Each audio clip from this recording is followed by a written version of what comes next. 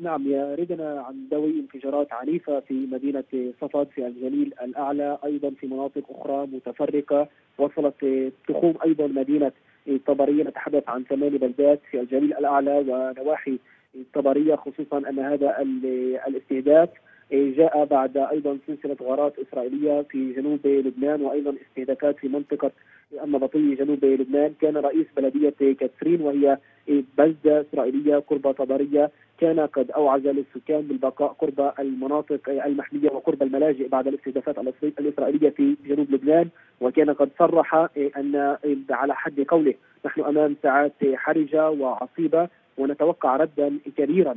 من حزب الله ذلك بعد الاستهدافات الإسرائيلية. أيضا هي كاترين هي بلدة إسرائيلية كانت قد تعرضت للقصف بوابل من الصواريخ مرات عدة، نحن نلاحظ أيضا مرم أن مدينة صفد في مرمى نيران حزب الله منذ الليلة الماضية بشكل مكثف، هناك بالقرب تقع قواعد عسكرية عدة، كان أيضا قد تم استهدافها اليوم وسقوط صواريخ مباشرة هناك في تلك المناطق، الجيش الإسرائيلي بطبيعة الحال لم يعترف بسقوط هذه الصواريخ في قواعد عسكرية ولكن نشهد توترا متصاعدا في هذه الجبهة منذ أيضا هذا صباح هذا اليوم أيضا الليلة الماضية. وننوه أن مدينة صفد هي مدينة غير مخلاة تضم نحو 40 ألف مستوطن ولكن هي محاطة بعدة أيضا بعدة قواعد عسكرية مهمة منها قواعد تابعة للواء جولاني قوات النخبة الإسرائيلية. وبالتالي أيضا نتحدث هذا يترافق مع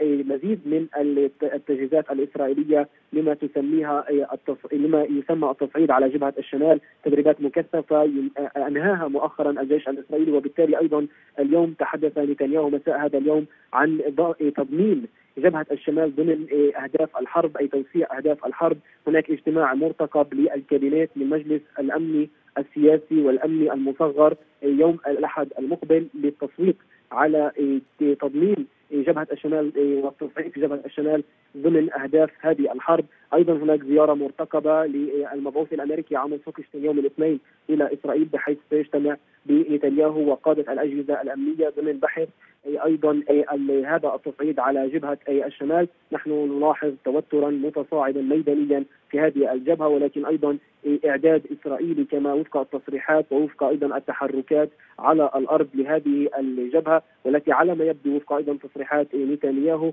أنها أننا سنكون أمام ربما معركة مفتوحة أمام حزب الله خصوصا أيضا هذا جاء بعد زيارة لقائد المنطقة الوسطى في الجيش الأمريكي الجنرال كوريلا قبل أيام إلى مدينة صفد وهناك عرض عليه المسؤولون الإسرائيليون العسكريون عدة خرائط وأيضا عدة خطط لهجوم في لبنان وأيضا هناك واضح التنسيق ما بين الجيش الأمريكي وأيضا الجيش الإسرائيلي على النقيض من أيضا تصريحات مسؤولين أمريكيين في الأيام الأخيرة التي تحذر من مغبة هذا التصعيد وبأنه يحمل نتائج كارثية على إسرائيل، اذا نلاحظ من جهة هناك قلق أمريكي ومن جهة أخرى هناك يعني دعم أمريكي لهذا التصعيد.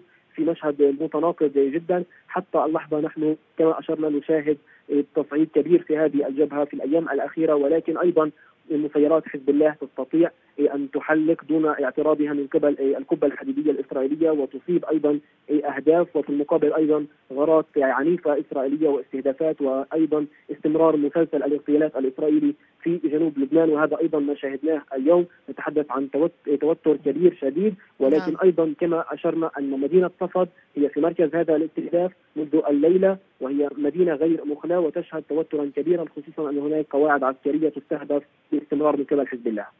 شكرا جزيلا لك رزي تاتور مراسلنا كنت معنا من القدس المحتلة.